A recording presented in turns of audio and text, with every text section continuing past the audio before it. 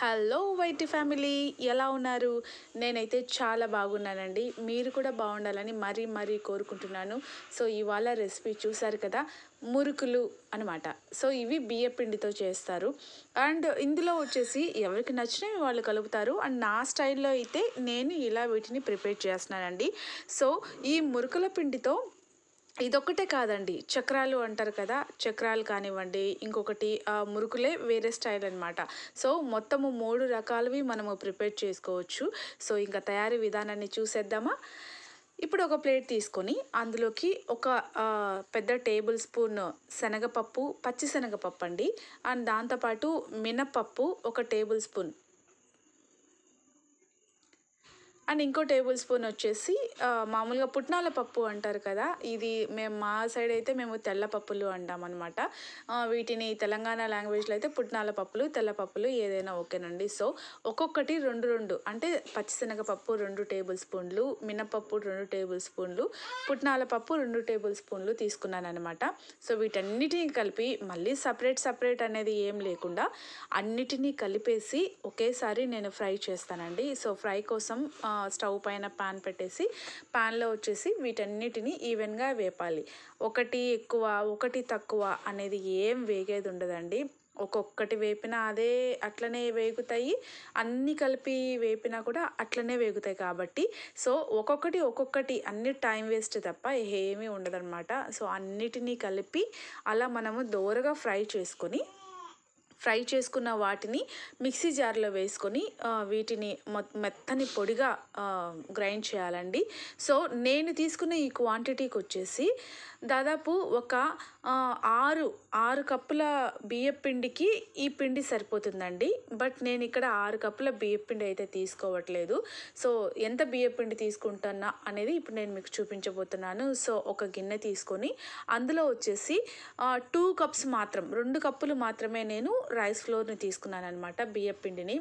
So వీటిలోకి నేను నేను మీకు కొలత చూపించడం మర్చిపోయానండి. ఆ క్లిప్ రికార్డ్ అయింది కానివ్వండి బట్ ఎక్కడో డెలీట్ అయింది. సో ఈ పిండి ఉంది కదా ఏదైతే మినపప్పు పచ్చిశనగపప్పు పుట్నాల పప్పు ఆ పిండి ఉంది కదా నేను దాంతో ఒక హాఫ్ కాదు హాఫ్ కంటే ఇంకా హాఫ్ కప్పు మాత్రమే తీసుకున్నాను. ఇందులో వచ్చేసి రుచికి సరిపడా సాల్ట్ ఒకటిన్నర టేబుల్ టే- టేబుల్ స్పూన్ సాల్ట్ తీసుకున్నాను. అండ్ ఒక టేబుల్ స్పూన్ కారం తీసుకున్నానండి. కారం ఏంటంటే మేము ఎక్కువ తింటాం కాబట్టి నేను ఎక్కువ వేసాను. బట్ ఇది కారం తినని వాళ్ళకైతే చాలా తక్కువ పడుతుందండి. ఒకసారి చూసి వేసుకోండి. ఇదైతే మాకు కరెక్ట్గా సరిపోతుంది మేము తినడానికి.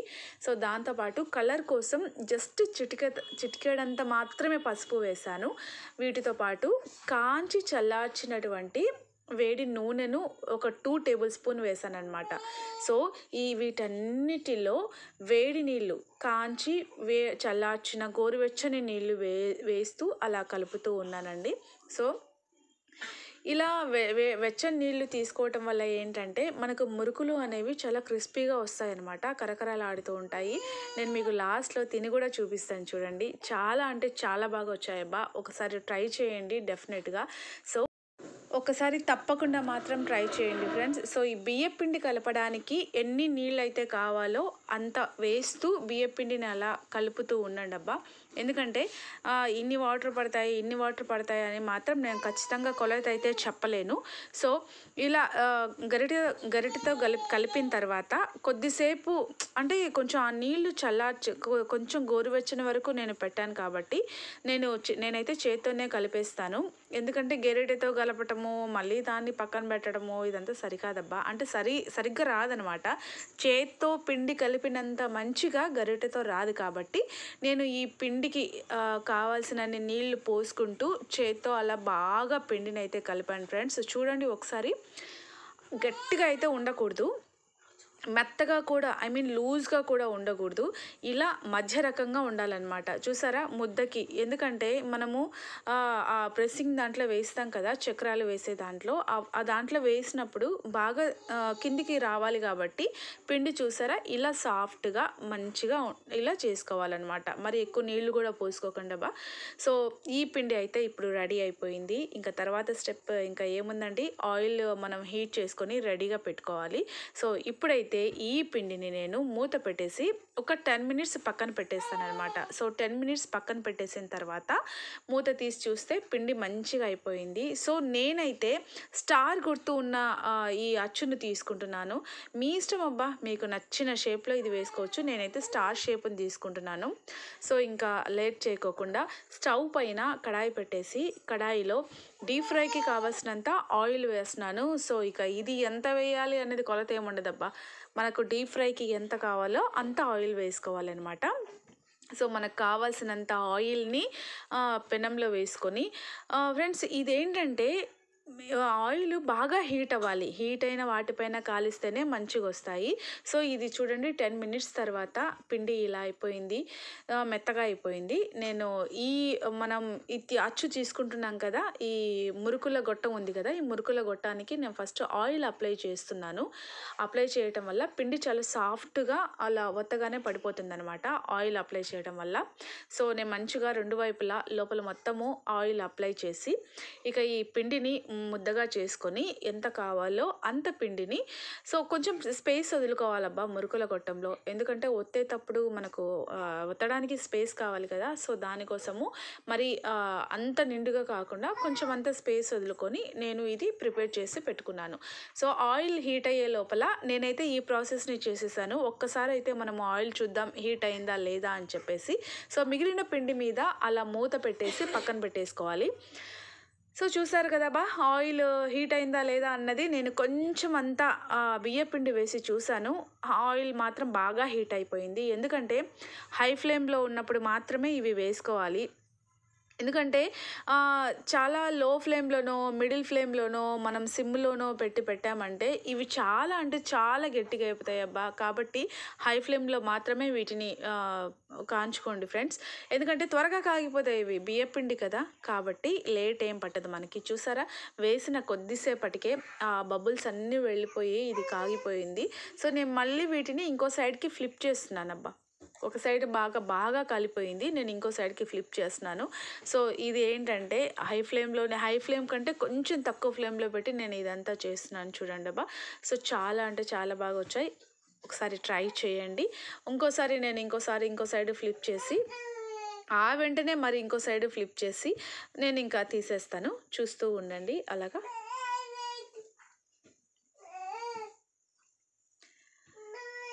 ఇక ఇదైతే కాగిపోయింది. తీసేద్దాం. చూడండి పసుపు వేయటం వల్ల కొంచెం కలర్ వచ్చింది. అండ్ ఇలాగే క్రిస్పీ క్రిస్పీగా నేను ఇంకో వాయి కూడా వేసేస్తున్నాను. చూడండి చాలా చాలా చాలా బాగా వచ్చాయండి. ఎందుకంటే మనం షాప్లో కొంటాము అంగట్లో కొంటాము అలాగే ఉంటాయి కానివ్వండి. బట్ ఇక్కడే మనకు నచ్చిన ఇంగ్రీడియంట్స్ యాడ్ చేసుకొని మనం ఇంకొంచెం టేస్ట్గా మనం ఇంట్లో చేసుకోవచ్చు కాబట్టి ఖర్చు తక్కువ మనకు క్వాంటిటీ ఎక్కువ అనమాట సో నేను ఫ్రెండ్స్ ఇదే పిండితో నేను ఇంకో రకం మురుకులు వేసాను చూడండి. ఎందుకంటే ఎందుకంటే ఇదే పిండి సేమ్ ఇదే పిండి బట్ కాకపోతే మనకు చెప్పాను కదా మనకు నచ్చని ఇంగ్రీడియంట్స్ కూడా కొన్ని తీసేయచ్చు కొన్ని వేసుకోవచ్చు. బట్ నేను ఇదే పిండితో ఈ టైప్ మురుకులు కూడా నేను చేశానండి. జస్ట్ మీకు చూపించడానికి మాత్రమే ఇవి చేశాను. ఇవి ఎలా చేశాను అన్నది మళ్ళీ దానికి ప్రత్యేకంగా వీడియో ఏం అవసరం లేదు. ఎందుకంటే మనకు నచ్చిన షేప్లోనివి ఇలా చిన్నగా అలా చిన్నగా అలా ఆ షేప్లో వేసుకొని ఇలా వేసేసుకుంటే సరిపోతుంది అనమాట సో అవే ఇవి. మళ్ళీ వీటి కోసం స్పెషల్ వీడియో ఎందుకండి? అంతే కదా? సో నేను ఈ ఈ- రకం ఒకటి ఒక నాలుగు వేసుకో వేసాను అనమాట జస్ట్ ఈ పిండితో ఇవి కూడా ఇలా కూడా చేసుకోవచ్చు అని చెప్పడానికి మాత్రమే. అండ్ నేను ఇంకొక రకం కూడా చేశాను ఫ్రెండ్స్. అవేంటివంటే ఒక షేప్లో మాత్రమే తేడా కానివ్వండి చాలా చాలా నాకు ఇష్టమైనటువంటి చక్రాలు. చాలా అంటే చాలా ఇష్టం నాకు. నాకు మాత్రమే కాదు రూబీ స్వీటీ మా ఇంట్లో వాళ్ళందరికీ చక్రాలు చాలా చాలా ఇష్టం. అవి ఎలాగా కాదు ఇలాగే అని చెప్పేసి వీటితో కూడా చేయొచ్చు అని చెప్పేసి నేను వేశాను. ఒకసారి చూడండి ఫ్రెండ్స్ చూసారా? ఇవి మేము చాలా ఇష్టపడి తినే చక్రాలు అనమాట సో మేమైతే చక్రాలు అంటాము మరి మీరేమంటారో ఎవరేమంటారో ఏ సైడ్ ఏమంటారో నాకైతే తెలియదు కానివ్వండి. మేమైతే వీటిని చక్రాలు అంటాము మా ఇంట్లో అందరికీ ఫేవరెట్ అండి ఇవి. ఏముందండి? వాటిని చింపేస్తే ఐ మీన్ ఏమంటారు? వాటిని నలిపేస్తే మురుకులు అయిపోతాయి చుట్ట చుట్టేస్తే చక్రాలు అయిపోతాయి సో ఒక్కొక్కరు ఒక్కొక్క రకంగా పిలుచుకుంటారు ఒక్కొక్క షేప్లో చేసుకుంటారు. అంతే అంతకు మించిన పెద్ద తేడా ఏముండదు.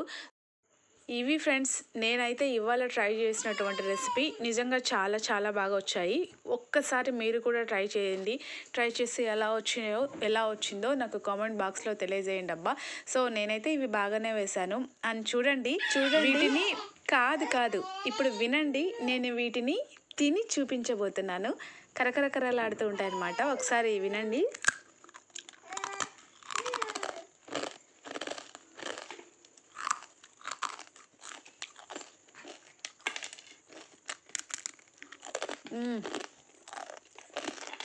నిజంగా?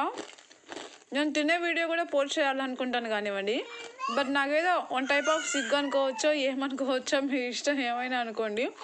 బట్ నేను తినే వీడియో అయితే నేను పోస్ట్ చేయలేనబ్బా అంతే.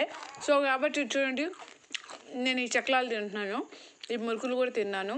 అండ్ ఇంకో మురుకులు ఇంకో టైప్ మురుకులు కూడా తిన్నాను. నిజంగా చాలా బాగా వచ్చాయి ఫ్రెండ్స్. ఒకసారి ట్రై చేయండి. ఇవబ్బా మనం ఒకే పిండితో ఇలా మూడు రకాలుగా. ఫ్రెండ్స్ ఇవి చూసారా? నేను లాస్ట్ మన మురుకుల కొట్టంలో కొంచెం పిండి మిగులుతుంది కదా ప్రతిసారి. నేను లాస్ట్ మిగిలిపోయిన ఆ పిండితో ఇలా ఈ పబ్బిళ్ళలు చేసి ఇలా పెట్టాను అనమాట ఇలా చూడండి ఓన్లీ టూ కప్స్ రైస్ నాకు బియ్య పిండితో ఇన్ని అయిపోయాయండి. ఇవన్నీ మనం బయట కొనాలంటే మనకి ఎంత అవుతుందో కదా. సో కాబట్టి అంత అవసరం లేకుండా ఓన్లీ రెండు కప్పుల బియ్యంతోనే మనం ఇంట్లో ఇంటిల్లిపాది హ్యాపీగా ఇవన్నీ చేసుకొని స్నాక్స్ టైంలో చేసుకొని తినచ్చు. సో ఫ్రెండ్స్ ఇది ఇవాళ రెసిపీ. ఈ వీడియో నచ్చితే ప్లీజ్ లైక్ చేయండి షేర్ చేయండి. దయచేసి సబ్స్క్రైబ్ చేయండి. సో సబ్స్క్రైబ్ చేయడం మాత్రం మర్చిపోకండి గంట సింబల్ని కొట్టండి. ఎందుకంటే ప్రతి నోటిఫికేషన్ రావడానికి ప్లీజ్ సపోర్ట్ చేస్తారని మరీ మరీ కోరుకుంటున్నానండి. సో ఇవ్వండి. నిజంగా చాలా బాగా వచ్చాయి. ఒకరోజు తినే వీడియో కూడా నేను పోస్ట్ చేస్తాను ఫ్రెండ్స్ ఎప్పుడన్నా. సో కాబట్టి ఇది ఫ్రెండ్స్ ఇవాళ వీడియో. ప్లీజ్ ట్రై చేయండి. నెక్స్ట్ వీడియోలో మళ్ళీ కలుద్దాం. అంతవరకు take care bye see you